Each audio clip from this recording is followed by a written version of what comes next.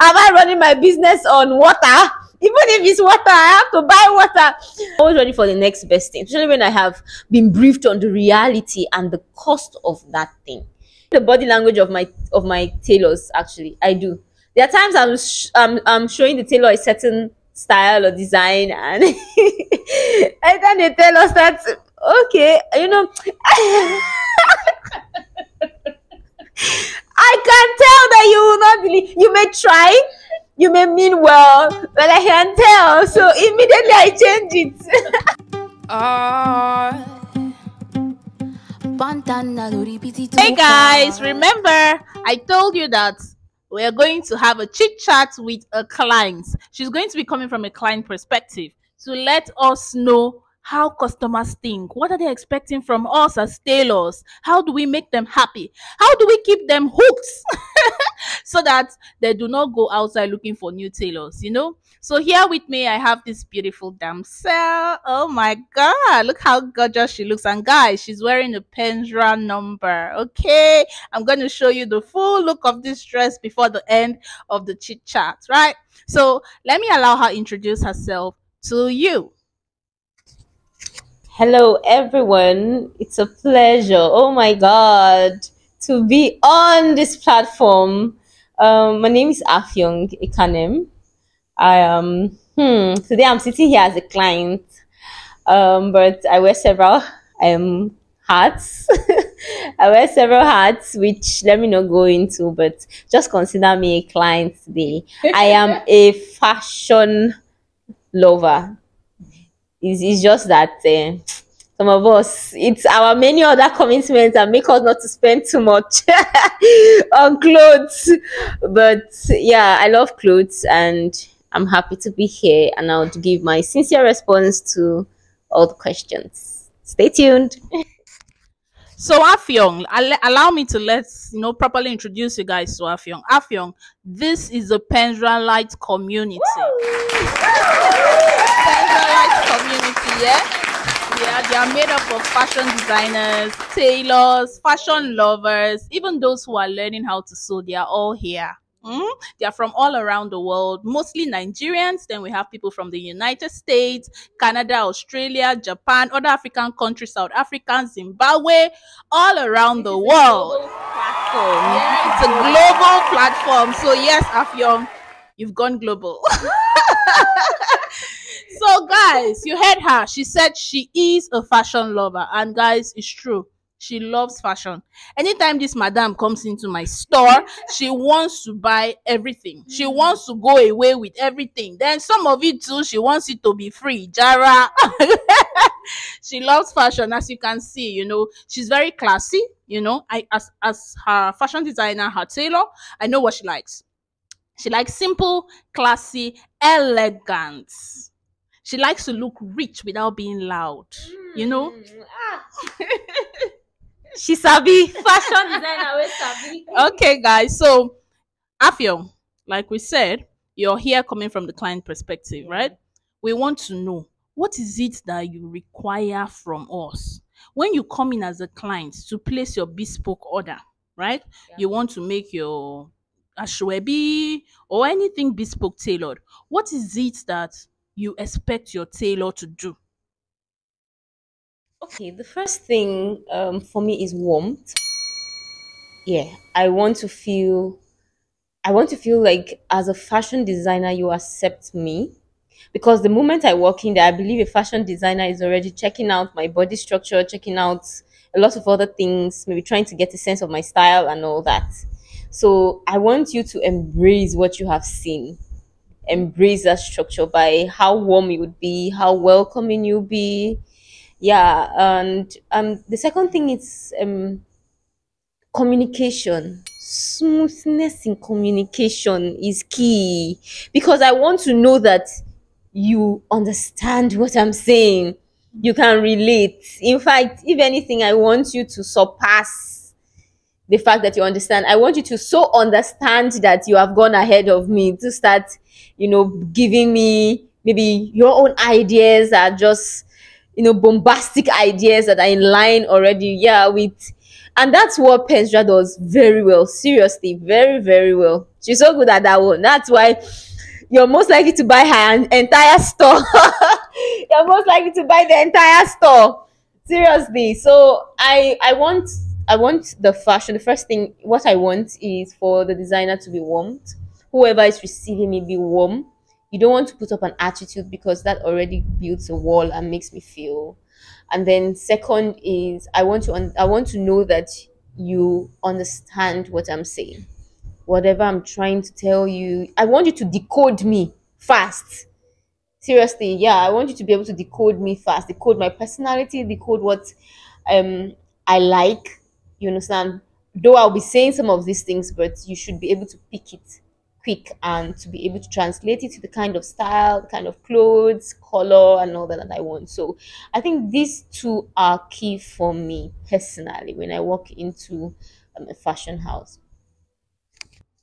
Okay, she has said so much, but guys, who does not know? If you don't know, know now. Communication is important. That's where it starts from. If you miss communication, that's it. You cannot satisfy that customer. If the customer is trying to communicate her style, is trying to tell you silhouettes that she feels flatters her. I have so many customers, Affion, who are kind of insecure. They get money, oh, the whole bar, but they are insecure about certain parts of their body. Even when I look at them, I don't see anything wrong with them. But as soon as they come in and they express to me that, look, I'm insecure about my arms, I take notes you have to take notes. That's not the time to start designing what to show arms and you know force it on them that you must wear the club because it's fine yeah. because uh, Beyonce is showing hand or uh, Rita Dominic is showing her hand. So you too, you must. If a client has told you about the insecurities she has, you know, I know you you you might want to work on it like encourage them play you know let them know that oh embrace your body embrace how you look this is how god have made you to be and all that. But you know at the meantime please give the client what she'll be confident to wear right? So thank you very much Affion for you know bringing that up. Very very important. That's the most important thing. Now Affion I also want to ask you something. Now when you come for bespoke services right um as as you know there are some customers I know right guys let me say this Affion does not only sew with me. If you no know that one, if you are a tailor that feels that all your customers must sew only with you, my dear, open your eyes and open your ears. They sew with so many other people, right? I'm aware that Affion comes to me for some kind of services because I'm not here to provide render every kind of service. Not every tailor or fashion designer is rendering every service, right? She comes to me for things that I am good at and things I am ready to offer. You know, she knows my price point already, and the days where she knows say she no hold back, she no go come. the days where she knows say ah, Penzrah, I'm coming for you. I know say she knows what to expect. Now, Affion, yeah. there are some tailors and fashion designers that do not feel comfortable. In fact, let me just say this. Affion needed some clothes. I took her to another person's store to buy those clothes. Why? Because number one, the person was offering what she wanted, and number two, at the price point she wanted. I sent her to a friend of mine who was going to satisfy her. That's how much I understand that. Omo, no be only me go chop. I'm not I'm not here to provide everything. How how do you feel when you go to some of these other tailors, you know, who you patronize or fashion houses who you um, patronize and they says things like, "Oh, I saw you wear Penzrah," or "I saw you, you did not come to me, ma. What did I do?" How do you feel? You know, when you hear them sound like they don't want you to go anywhere else. It has to be only them, even when they are, they cannot render the services you seek elsewhere. Yeah. Um. Many times, I mean, I'm just I'm just short of words. when I come to your store and you know, I'm trying to tell you what I want, and then instead of focusing on that and satisfying me as your client and all of that, and being glad, you know, to just render your service and you, just stop everything to now tell me that you know I saw with this person or or you ask me a question like why didn't you go to so so person? I know you used to uh, you're not friends with her It has happened to me before. happened? Ah, I'm telling you. Did you quarrel? or na don quarrel when you come my shop today? I'm telling you, it has happened to me before several times. You know, and many times I, I'm just always short of words. And I hate that I have to explain myself. Exactly. I hate it so much. I'm like, why should I explain myself to you? My choice, my money, you know? So, but it's it's not a nice feeling at all. It's not a nice feeling. Um, for me personally, I've just learned to ignore. I've just learned to ignore, but it's not a nice feeling. And if I have my way, I could just avoid you because I feel like, you know, that's really petty. And maybe the next time I go again, you'll be like, mm, you don't come. Okay. Oh, you know, and sometimes you can't have a smooth conversation, communication with them because they feel you pay so much at the other place. Now you're coming to crunch my price, or now you're coming to price me, you know, like we talk over here. So, it's not nice. Please if you're a fashion designer you do it. It's so wrong. So so wrong. It's petty. The more you know just receive your customer. I mean everybody is somebody's customer somewhere. It's the world is going round. Come on now. I mean today on the red carpet you see a certain celebrity wearing you know you know how they do it on red carpets oh what are you wearing today i'm wearing this i'm wearing that so you can't say ah maybe um um Gucci or D and G will say, Ah, so so celebrity, you wore me to this red carpet. Why are you now? Why didn't you wear me again this other time or something? So I mean that's it. It's business. The world there are many people, many people. If one person leaves you or two, many others will come to you. So you don't need to be petty about it. So Afyong, let's say Nigerian tailors and disappointment now five and six. Nigerian tailors would stain your white. They would disappoint you. You know. Do you still think that that is true? There are lots of new fashion houses. You know. Do you still have you experienced? I know I don't disappoint. Penzrah is a no disappointment zone, and everybody knows. Yeah. So, do you still experience this with other fashion houses? Have there been an improvement? Are Nigerian tailors still disappointing? Um yeah, yeah, of course. Um I've heard and I have experienced it at least in my whole lifetime. But I think when I look at it, it depends on who you go to to sew for you. Really, it depends also on the time. There are some people who bring their clothes just the night before or two or few days before.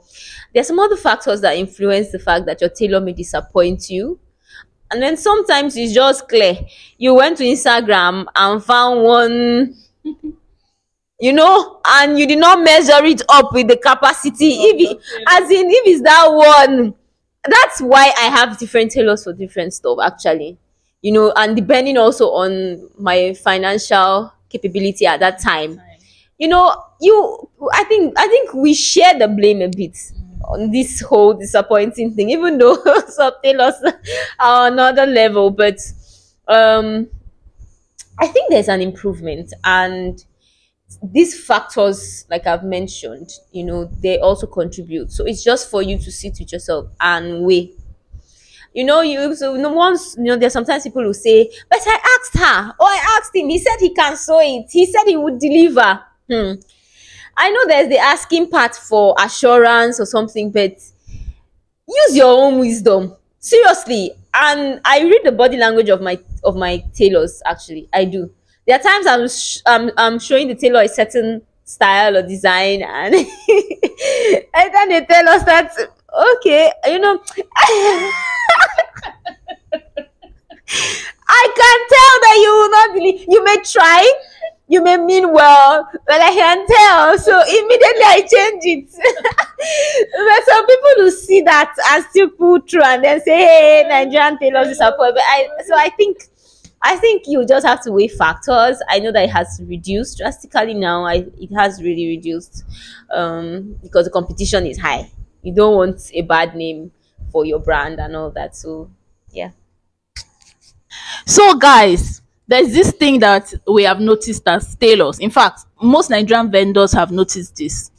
Every customer is traveling tomorrow. I'm traveling tomorrow. Have you guys noticed it? I'm traveling tomorrow. The wedding is tomorrow. The party is tomorrow. You know? Have you guys noticed this? So now that we have a client here, I want to ask her, do you lie to your tailor do you lie to your tailor so that they will you know deliver your cloth promptly is there a reason is there a need to lie to your tailor Hmm. I think at this point, this is a table that I don't want to be responsible for shattering because I think at this point I'm representing all clients and they are just watching me like, don't, don't, don't give us out, don't sell us out, don't, you know. Um, I don't like my tailor. No, I don't. I don't. So, like I said, I have several tailors for different um purposes and all of that. So I don't lie. You know, I usually um I know the calculations. Like for example, th- there must be fitting. You know, and then maybe I have to still give myself time to come and pick up that garment before the day, and then probably iron it and make sure there are no stains, everything is perfect before the day of the event itself. So I usually factor all of those things when I meet my tailor. I actually do factor all of them when I meet, and I kind of don't really like when tailors say, "When do you want to use it?" I think you should just ask me when when do you want to pick it up or when do you want it yes just tell me when do you want when, when you're like when do you want to use it? Even we the clients we cringe like so that you will disappoint me.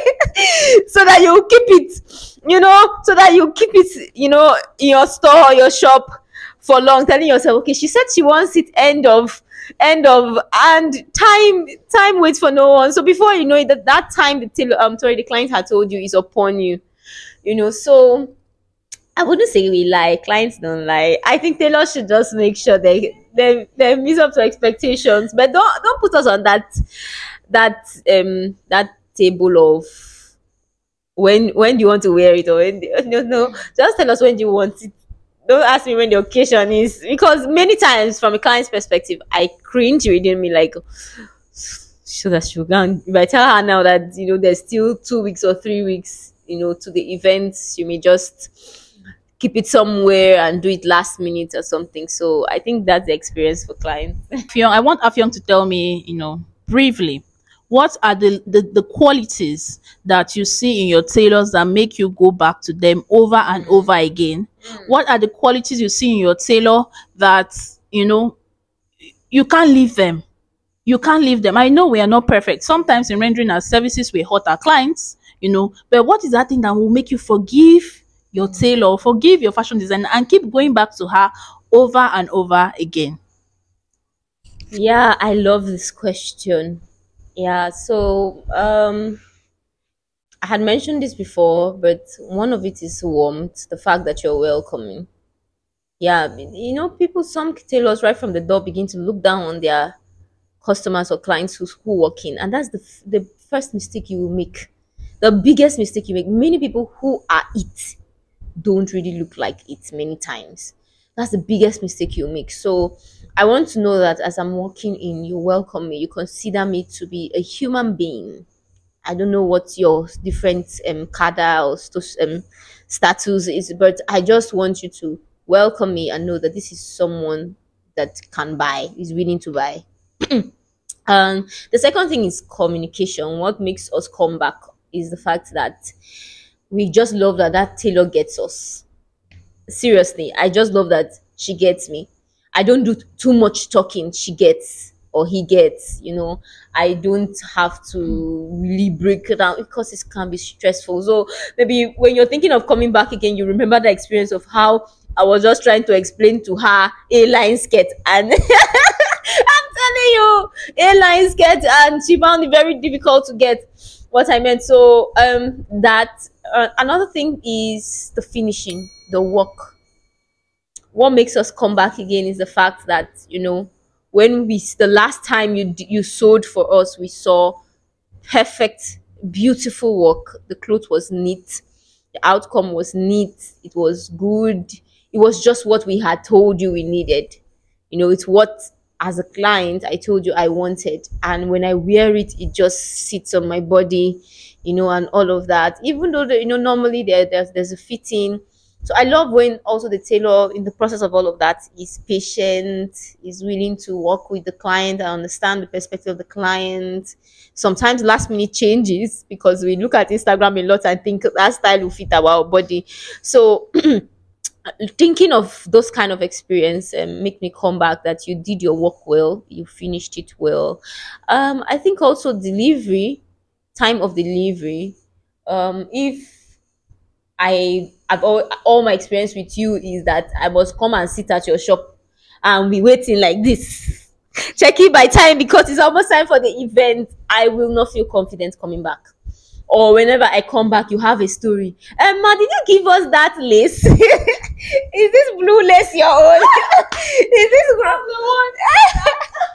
that one that one is always so funny like it's when the client come that you're asking the client ma which material is your own is it this blue or the red or if you're chatting via whatsapp emma sorry send me the picture again of the material so that i can start looking for it to cut it line no no no Mm. no no your clients will not have confidence in you Yeah. so um, in summary afion has stressed that you must be welcoming you must communicate clearly and finishing. The fit of the garment is very important and she also added that you must be patient during the process while working with them. Because just like she said some customers see this dress looking lovely on instagram. You know when our bbl babes uh, Instagram badges, you know, wear these dresses, you know, that some of these clients don't consider that body shape is not the same. So when the cloth is, you know, when they come for their first fitting, you have to let them understand that look, we need we might need to make certain changes because this does not quite suit your body type, this silhouette to flatter you better, you know, especially if the client was not open to changing the style or altering the silhouette during your consultation before the garment was produced. So this is very important. Now, Fiona, I want to ask you one important question because most of my mentees, you know, I'm a fashion business mentor. I have a number of people who share their wahalas with me and we sit together, brainstorm, and we provide solution to their fashion business problems. And I noticed that most of them care so much about aesthetics. Their shop must be fine. They spend the capital that they do not have. They don't even put aside something for marketing, you know, but they want to spend a million on renovating their store and put a thousand lights and make the place look like it's some expensive, you know, like Yeah. really beautiful, which is not a problem, you know. But I want to know, does it matter to you as a customer? Does it matter how expensive the store look, how expensive the showroom look? Does it matter how beautiful the the building looks? You know, generally, I mean, like from your drive in or your walk in, does it really matter? Is that what makes you want to, besides the things you mentioned, you know, Yeah. is is that what makes you want to go back to that store over and over again? Okay. Uh, um, I- I think as you were just asking me the question, and I put myself in that shoes, I realized that the fact that your shop, your fashion house, um, looks good, is beautiful, it's comfortable. As a client, it, you know everything was on point. I felt good about the place. Maybe what attracts me, it doesn't mean that's what's going to keep me Okay. it doesn't mean that's what's going to keep me at all. What will keep me where those things are enumerated? For real. For real. And that's why a lot of people, you know, they, they, they strive so hard, just as you said, they, they scrape all the money they have to put these things together, which is not bad. It's good. But I think in your scale of priority, you should make sure you have that skill. You have put everything in place to actually represent um, that that brand that reputation that you're putting for, forward really. You know so you don't want a case where you look all of that you're big you're making noise which is not bad but the actual skill the delivery and giving the customer the satisfaction you lack people will go back and spread this. And so you'll be big for nothing. I'm telling you many times you'll be big for nothing so you see big stores but they are empty or big stores and they rarely have patronage. But one small place somewhere it reminds me of the fact that i'm sewing a certain outfit. He's a men, men's tailor but i'm sewing it with him. He's a young man a student in school and all of that. But he is good. You're sewing a, a, yeah, a men's wear, not for myself, for someone else. he is so good, Glory. Like he's good. But his place is one very tiny. Many times, I think that the one time I brought this client to him, he had to come to her, to the client's location to take his measurements and all of that because I know that my clients will not really be comfortable. This person I was bringing to him will not really be comfortable there and all of that. But why did I still make sure it must be him? He's not the only men's tailor, you know. There are other tailors with very comfortable fashion houses and you know um, reception areas and all that. But I went back because I know if it's for the delivery, he will give me, you know. So many, and then sorry, this same guy now would grow, right? He would be there all the time. He will grow and he will still have that fine shop, that AC, that everything. So I think young people and those coming up in whatever business it cuts across, try to focus on what really matters first. When that matters, you have a lot of people coming in, income point in, and then you can expand, you can grow, and you'd have all those things that you want. Okay, so I have some newbies here, Fion, who are still working from home. You know, now we are talking about shop. Is the shop fine or not fine? You know, how is the aesthetics of the shop? But what if it is not a shop? What if it is their house? Okay. Are you going to be comfortable to go meet your tailor in her house? That is, she works from home. Will you be comfortable with that? Some of you guys know I work from home, right? Not because I cannot rent a store. In fact, I started out my business in a shop, right? I had a shop outside of the house. But when I got married, started making babies, I found it really challenging, you know, carrying my my business and you know running my home together. It was really difficult, especially with very young babies, with small babies. My kids are still toddlers, you know, so it's not been easy. So I just thought, you know what? Why don't I just shut down and go and work from home, get a bigger house, you know, and work from home. Now, the plan is not for my customers to really know I work from home because I have the space for me. I have the space, right? They are not supposed to know, but somehow they can just figure it out do you understand when they are sitting waiting for their fitting and stuff they can just figure these things out so i want to know from a customer perspective is there a problem with patronizing a tailor who works from home would you not want to go there like let's say this tailor you talked about now you know you know he's good. You have known him that he can deliver now. And then he tells you oh i have moved my production to the house. You know would you want to go there or you would not want to continue business with him anymore just because he works from home? Um, no, I don't think I'll discontinue business because someone works from home. Um, if you work from home, try to make sure you've created a space for your clients. That's it anyway. I, I don't think I want to come to your shop and I'll be jumping pots and stove. I'm serious.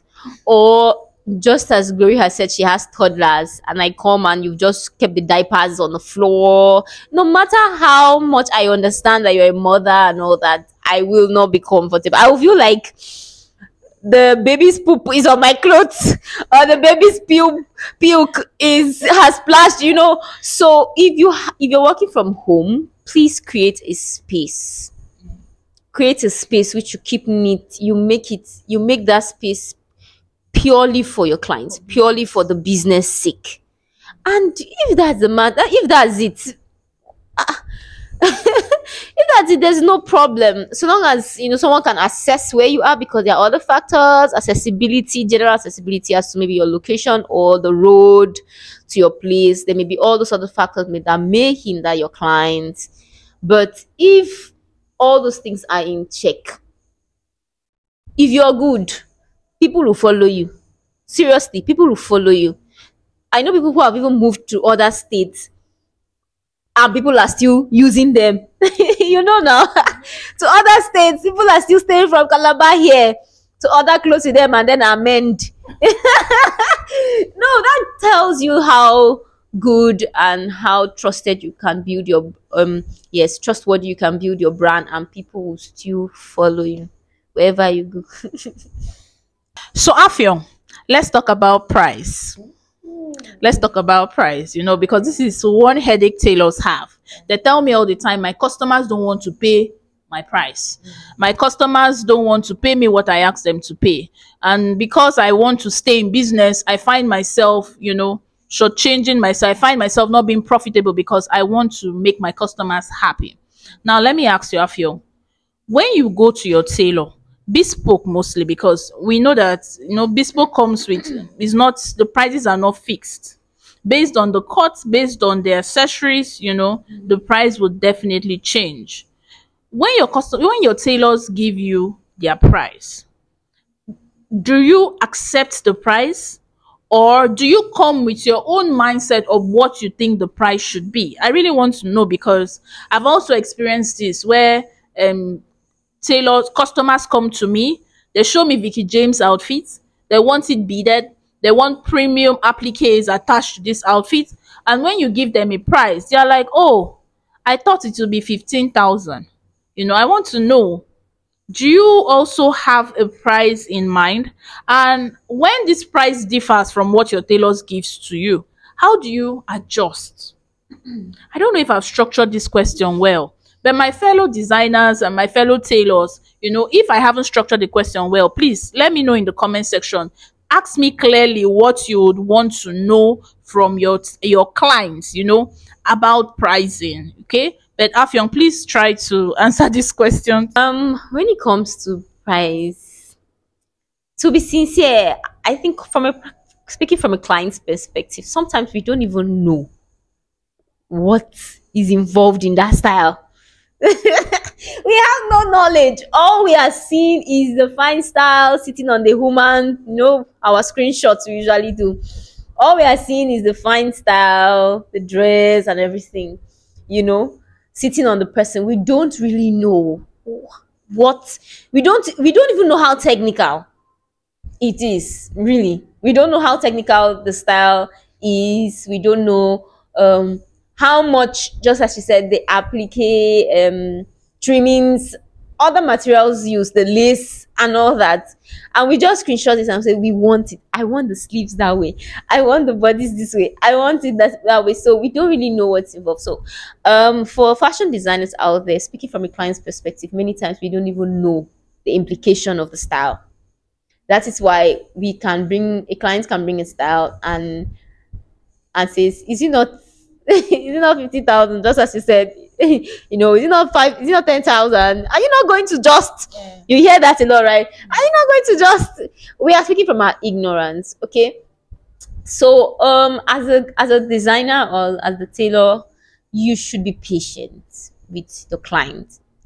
You have to be patient, and you have to find a way to to let us know what is involved in that. Don't be rude. No, because we don't know. Some of us are coming from ignorance many times, so because you are the one who it's just like coming to a doctor and saying it's not just because the pain is here. From a medical perspective, you don't know what has really or what is really going on in your body and all that. So be patient and find a way because some tailors are rude. Ah, now Veekee James, you won't price me ten thousand. You you did great. Am I running my business on water? Even if it's water i have to buy water. So you need to be patient. You need to explain to us the implication of that style. You need to explain to us the cost. And you can also tell us the next best thing.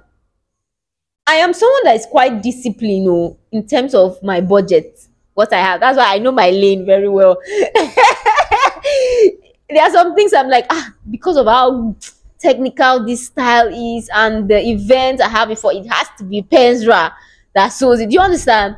Well, there's a way it could be casual. I'll just say, how much is even in my pocket? Let me just go to to so person who I know her technicality too can, you know, do that. So um be patient and you can always tell us the next best thing. Me, I'm always ready for the next best thing, especially when I have been briefed on the reality and the cost of that thing you know, if I didn't know before, the next best thing. So as a tailor, you can tell them the next best thing. You can improvise, find ways to improvise. When you hear the budget, when you hear how much the client has, find a way to still in fact, like I said, communication is key. From the way the, the client is communicating, you can tell what what is really ticking this person in this clothes. You can tell, and still try to make sure that element is in this your improvisation. If not, you understand? So there are ways to go about this thing. There are some people want they show you their style, you tell them their, their price, they don't even they don't negotiate. They just pay you and they're, they're like i just need Penzrah all i need is you know the the the clothes i need it as fine as that i need and i need it on time and all that so for pricing that's it and I think I've answered the question, have I? Just just make sure you're not mean, don't be rude, try to improvise. And there's nothing wrong to anyway in being clear that you can't make this for this price. And client, let me talk to clients, please. don't take things personal. I don't know. Some clients take it personal. And there's nothing wrong in having a budget. Uh-uh you now vex and pack your your your this thing and be mumbling on the streets and then you go and spread the bad name. Hey this this so so brand hey never go to her she's very expensive. You forget that it was Veekee James you snapped and there's nothing wrong with that. I in fact there's one of my styles because she's my tailor and all of that. There's one style i gave her. I knew i even told her i know don't look at the, don't look at the person they don't look at the figure wearing it. Don't also look like i this is just what i like about it and try to replicate it for me according to my budget. So clients please also know how to be to be vocal like speak you know and there's nothing wrong in having your budget. Don't vex don't beef don't take it personal. And also help yourself sometimes by knowing tailors they are tailors and they are tailors that's just the truth. There's some tailors that even if it's the same feel the same lights everything but their prices will still be high because maybe their rent for their shop is in millions or something. So just know where you're going. Or maybe just the location where we are a, a fashion house in Lekki or a fashion house in uh, you can't go and be rising. So just sabi body and respect yourself. Thank you so much, Afyong. Thank you. Okay, so um, I have another question, Afyong. Okay. Afyong buys ready to wear. She buys ready to wear from me, and I think she patronizes other brands as well. Now, something happened recently. A client bought um, a dress from me. One of my best sellers is called the Lomasi dress. Okay, and I have this dress in several colors, right? Uh, this client bought this dress long time ago, so she decided to wear the dress recently for one of her um, important for an important event in her life, you know. And while she was there receiving her award and stuff, you know, she came down from the stage and somebody ran to her shouting, "Pens Rao, Pens Rao." and she was like, I don't know this lady, even though yes, I'm wearing Penzrah. And the lady walked up to her and was like, um, I have this dress, you know, same color. Sandra has done this dress too much, you know, and the lady was like, okay, where is this going to? Why are you discussing this with me? And that's all she said and walked away. You know, so this client reached out to me. I was like, oh, see what, see how this person embarrassed me. You know, I know that I bought ready to wear from you, and it's very possible that you made more than one Mm-hmm. It's not mass produced if you make two pieces, if you make three pieces. It's not mass produced if you even have four pieces. And guys, let me tell you, for that particular dress, I don't even use the same lace for everyone. In fact, I didn't know the dress would go viral like that. I didn't know it would be a bestseller. So I did not stock enough of a particular lace, you know. So what I do is when once you inquire, I'll ask you what color, and then I go to the market and buy a lace that suits. Do you understand? I didn't produce a lot of it down. Okay, so that particular dress, it is just three of them, three in this town that have it. I've stopped producing it, by the way. Just three people in this town have it, you know. So somehow she bumped into the other two met themselves. The other one has even left Calabar she's not in Calabar anymore. Eh, she can visit, but she's not in Calabar anymore. And that the third person demanded for a, a bit of a change. She's a bit conservative, so we had to make her length maxi, while the other two dresses are midi. You know, so I I was embarrassed. I'm like, doesn't this woman know she bought ready to wear? Like, don't other designers produce two, three, four pieces of an outfit? So I want to talk to you as a client. How do you feel when you buy a dress ready to wear and like you know me to some extent you know that i will not mass produce but somehow you bump into someone wearing the same dress. Not that they wore the same dress at the same time. Yeah. the other woman just saw her and knows that oh i have this dress yeah. uh, you know. So I, I want to know from a client's perspective what do you expect of us as fashion designers? Do you expect us to make just one one piece, one design exclusive to you, yet you want to come and pay, you know, chickeny money for exclusivity. I want to know what are you cool with wearing the same dress with two or three other people, or you want it strictly exclusive to you? Okay. Um, first of all, what that lady did, not cool. Not cool at all. Like I would never do that. I don't think there are many times um I see online some celebrities wearing some very high, High-end brand. yeah brands and the same thing and all of that. But they're so proud. They're so proud to be in fact we screenshot it and say wow who wore it best? You know? And all of that. Because behind our minds we know we know the bar say you where they talk you fit afford them that kind of thing so what whoever that person is what you did not cool like don't do it again or in any other situation. Don't do it. It's it's not nice at all. So as a client when it comes to ready to wear know that it's ready to wear. Sometimes even on the rack i can see another another um the same this thing but another piece probably for a different size you know we have different sizes 8 10 some are 14 and all of that. I can see a different size. So when i'm going for ready to wear i have that in my mind that it's ready to wear. And if i like that cloth i go for the one in my size. Do you understand?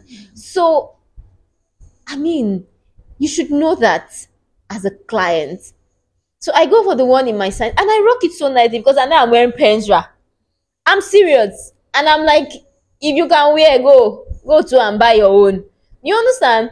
So i feel if you're someone who who feels that you don't want to wear what someone else somewhere besides you know just like you said it's not even mass. It's not mass.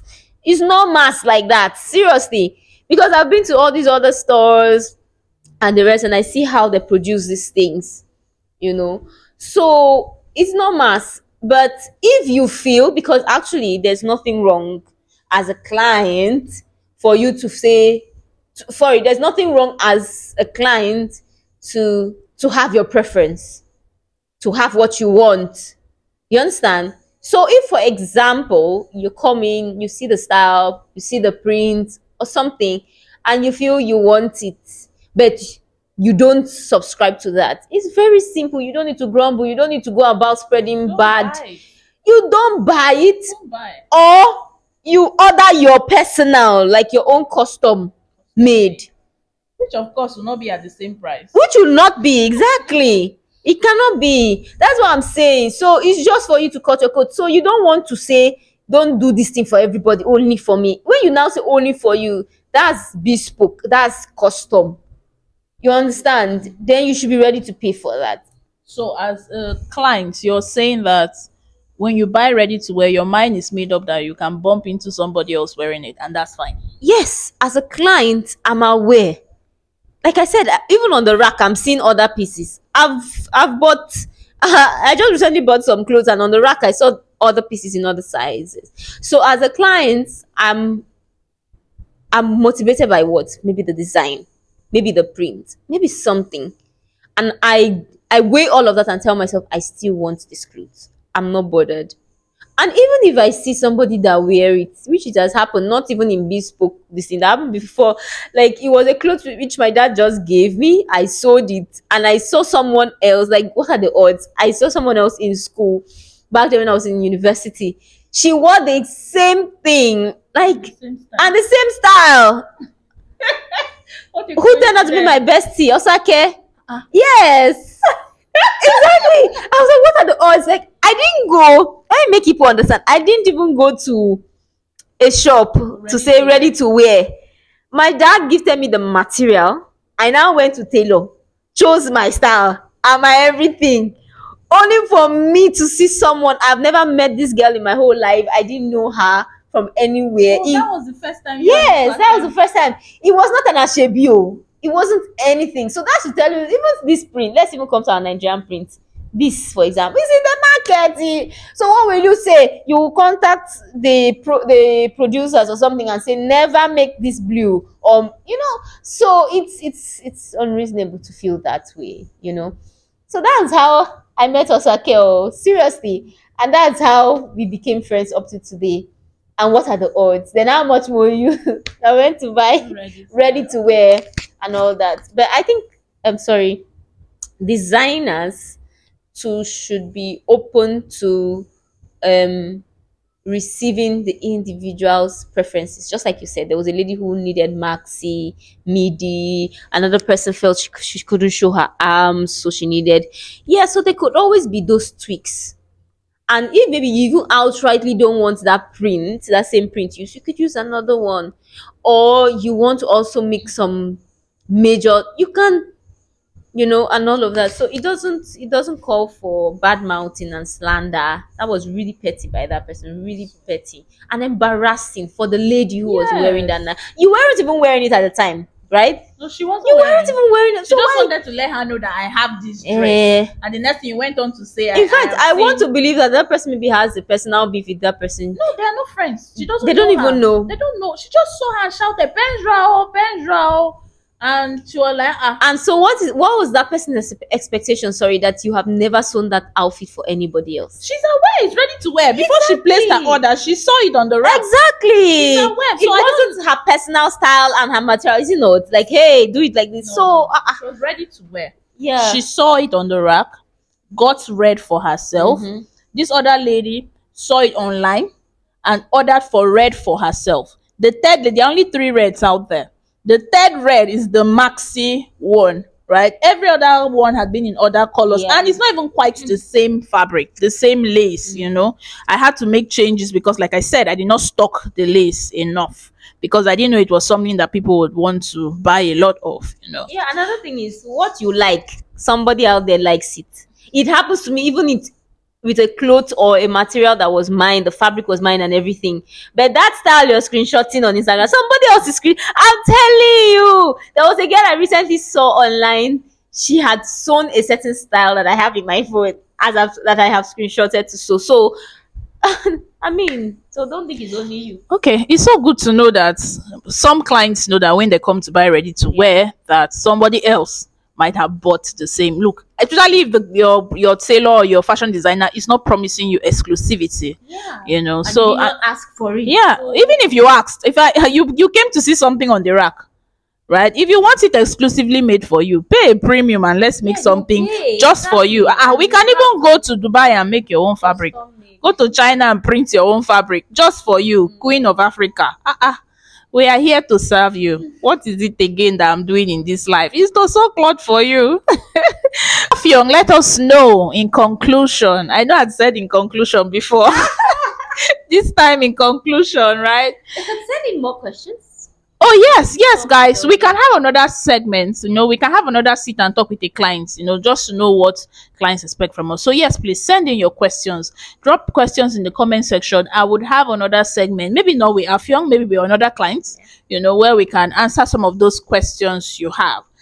So, Pensrolites, thank you so much for watching this video up until this point. Don't forget to leave your questions. I'm going to have another segment with somebody else, maybe not Afion. So, thank you and thank you. Don't forget to like, subscribe, and share this video with other fashion designers and tailors who would find this very helpful.